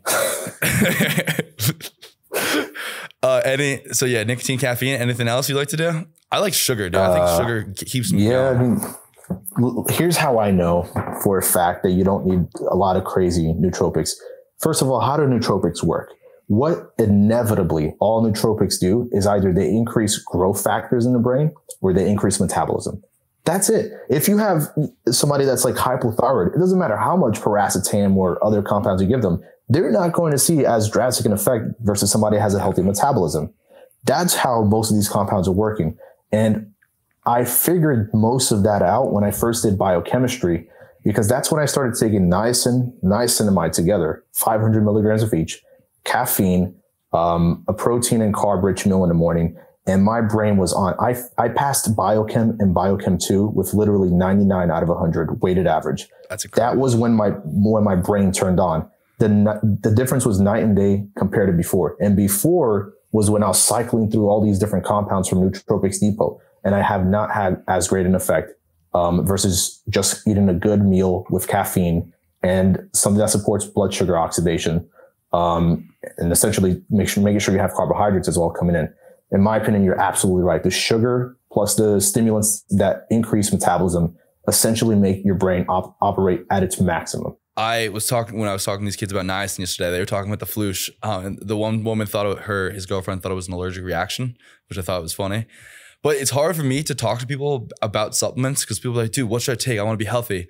Or it's like, like, why should I take niacin? And I'm like, dude, me telling you that it's going to increase glucose oxidation and lower free fatty acids will probably mean nothing to you.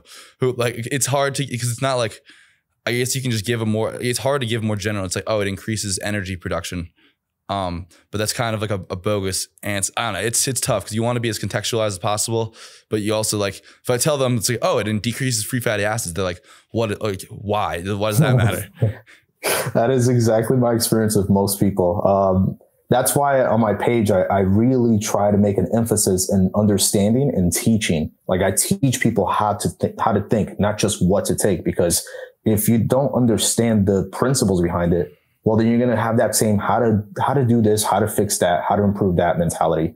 And you'll never know why it's happening in the first place. Like with the nootropics, the reason why it's happening is either growth factors or metabolism. That's it.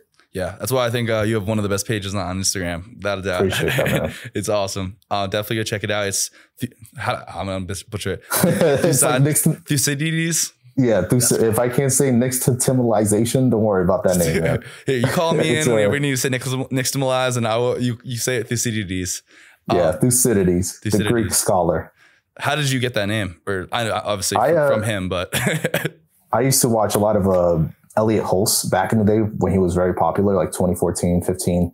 And I remember the quote that he had from Thucydides on the, the, the scholar that never fights and the warrior that never reads will have its decided, its thinking done by fools and its fighting done by cowards. And it's very true. I've uh, heard you that. Need to combine, I did not know that yeah, was from him. That's awesome. Yeah. You, you need to combine both mentalities to have a actualized effect on your endeavors. Like you can't just be um, aimless at life, but still like force your way through life. You have to have a plan and you also have to have the willpower to get those things done. Combining the two philosophies is really important. Something that's come up time and time again in my life. Um, so I took that name and I made it my Instagram handle. That's awesome. I love that quote from Aristotle. I believe it's I'm going to butcher it, but he is too, uh, he is only a scholar. It, it, I want to say it's too effeminate. He is only an a warrior. A, a warrior is do you know what it is? Too vulgar. Yeah, I, I, recall a little little bit of that. Is it a true potential? I have it written down. I have a, I have a list of quotes that I uh, have written down, like quotes worth remembering. I think it's very worthwhile. I highly recommend it. Uh, but then it's like the true man is like the scholar athlete, the one that is like a warrior and like like so you, you got to be able to think and you can't just be a meathead at the gym. Like it's it's so it's it's important. That's why I love like again, it's one of the reasons why I really respect you and your page because it's like I know you're putting work in the gym and I can relate to that. Like I was a meathead. The reason I got went down this nutrition pathway because I wasn't gaining muscle. I was like, all right, let me look at my hormones, look at all this stuff. And now I actually like I think lifting is relatively simple in muscle building. Like I think this stuff is much more fascinating. Um, so I focus a lot more on this. But I came into it as just a guy that wanted to. I, and I still lift weights, and still put on muscle, but I think that is just less fun. that's literally my journey too. That's how I found out about you guys and anabolicmen.com was 2015. I realized, wait a second, I'm actually not putting on weight.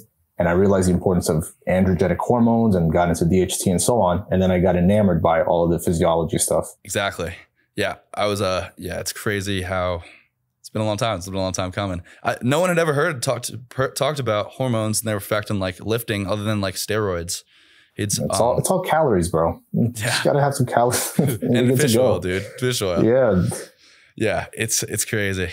Uh, thoughts on lithium? I've been considering adding in. Oh, uh, sorry. I wanted to say one other thing. Uh, when we talk about methylene blue, I tried it like a year ago and I didn't feel any effects. And I think that speaks to what you were talking about, how your physiology changes as like you're better able to handle sugar and like certain things that, you know, you might not handle nicotine or caffeine really well, horribly right now, but you getting your, reclaiming your health can allow you to process these compounds better. And you're going to have a different effect on your biology, on your niacin, like the niacin flush, because you're in a better state. Yeah, I agree with that. The general general baseline. Here's a better way to think about this: you give any kind of supplement to a cadaver, nothing will happen because they're dead. The more alive a person is, the better they're going to respond to things. Okay, so sorry, my last question. Thoughts on lithium? Yeah, this is actually something I just thought about recently because of Dr. Tyler Pansner. And um, essentially, lithium supports B12 transport into the brain, which is what basically clicked me onto this. It's like, wow, I didn't, I did not know that. And obviously, you know why B12 is so important for neurons and neuronal growth and uh, brain communication, fighting depression, and so on. So I can imagine why lithium in small quantities can help people with so many different depressive like symptoms.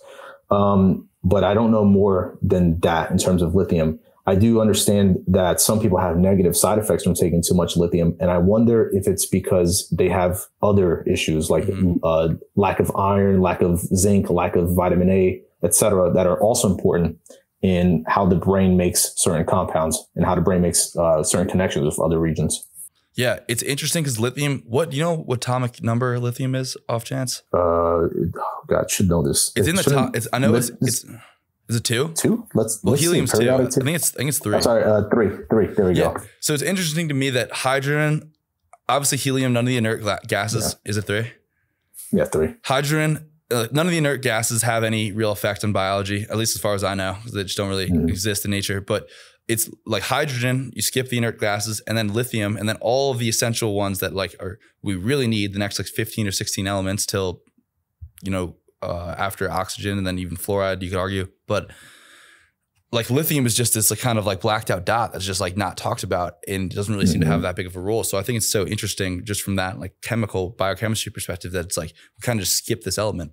Yeah. You know, there's so much with like metals that makes it so interesting in the body. Um, even things like arsenic, which we consider extremely toxic, you find organisms using it for their own enzymatic purposes. Like they need arsenic so that, that an enzyme turns on. Um, it's been found in some people that this is also required in some small amount. Arsenic is helping a particular enzyme operate. So it's like these metals are very interesting because they can have either good or bad effects in very small quantities. It can really change rapidly.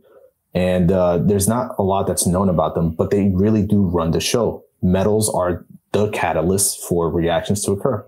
And I also thought it was interesting how that I've seen this, and you might uh, again have some. I would like to hear your thoughts that the we tend to accumulate heavy metals when we're deficient in the. So like, let's say we're we have a zinc dependent enzyme, and I, for, I forget what re, uh, valence zinc has. I think it's plus two, but so you might accumulate lead, which is also a plus two valence because you are deficient in zinc to keep those enzymes running at a lower rate rather than dying without them on. Yeah. So the oxidation state matters or basically the valence. Um, that does play a role. And, but then there's also the transporters and the interaction with transporters. Um, then there's also like proteins. So with lead in particular, to make it as simple as possible, hemoglobin requires iron for it to actually become hemoglobin in the first place and for it to bind to oxygen. However, lead can basically displace the iron and cause globin protein that forces people, uh, that forces cells to be unable to uptake oxygen. And then people become deficient in oxygen and basically causes peripheral damage to the nerves, causes a, a Raynaud's disease, for example, where it's less oxygenation to the extremities. And so those interactions at the protein level play a role. But then there's like the transporters.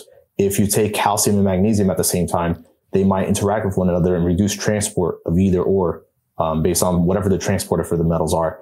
Um, and then finally, once again, just general metal chemistry. If you place two metals um, that would react in the same area, it's likely that they're going to cause some change in chemistry that forces your body to uptake one versus the other.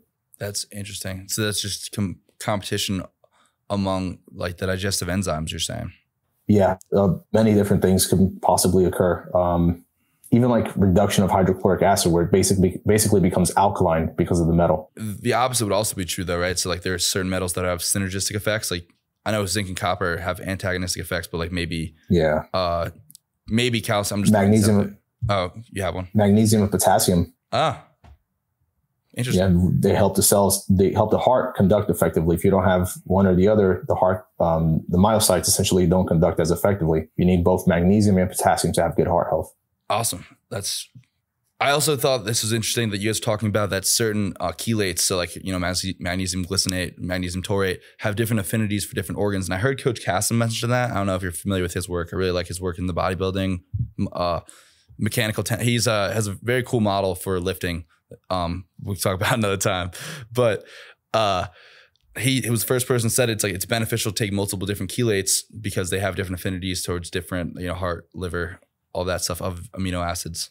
Yeah, that, that's very true. Glycinate goes to the brain, taurate goes to the heart, um, malate goes to mitochondria mostly. So it does provide different routes of transport essentially. Um, inevitably, all cells will saturate in what they need, whether it's magnesium or some other metal.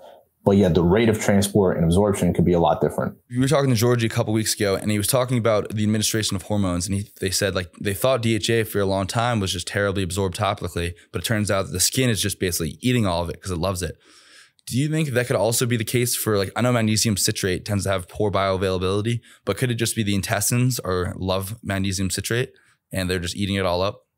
I wonder if cit- citrate itself, uh, when it gets liberated, makes a difference in how the microbiome interacts with the gut. I bet you there might be something there as well. Because citric acid is like lactic acid, one of the metabolites that signals in the gut. Um, but I could I could see that. I could definitely see its affinity for epithelial tissue in the gut, and so less goes to other cells, and then people get some kind of side effect from it, like diarrhea or something. Where can everyone find you? Um, you can find me on Instagram, Thucydides, and or you can find me on my website. Just type in my name, Pedro, last name Doamaral, D O A M A R A L dot com, and uh, you'll find some articles there. Awesome. Well, that's it for this episode of the Thermo Diet Podcast. Thank you, Pedro, for coming on. It was been awesome. And uh, until next time, guys, be good.